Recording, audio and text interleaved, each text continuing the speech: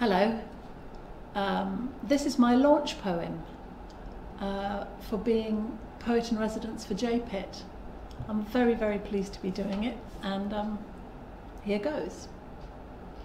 An empire and a village. You and I, inside us, have an empire and a village. Admit it and acknowledge. Now, let's forage for our courage. Citizens of empire are the haywire folk of hellfire, of hiring, firing, miring, and of razor wire and gunfire. Citizens of empire never listen to the village. Empire will imprison any prophet of the village. Empire has the cash, the whips, the slaves, and the advantage. Empire screams for tribute which the village cannot manage.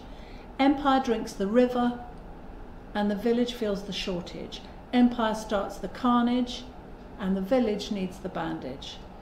People of the village must rummage through the rubbish, calling through the garbage for their children in the wreckage.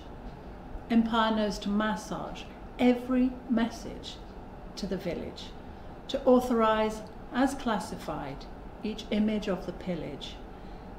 Empire feeds off doubt and debt and luxury and slaughter. Village dreams of crumbs of bread and never ending water. All of us, inside us, have an empire and a village. Admit it and acknowledge.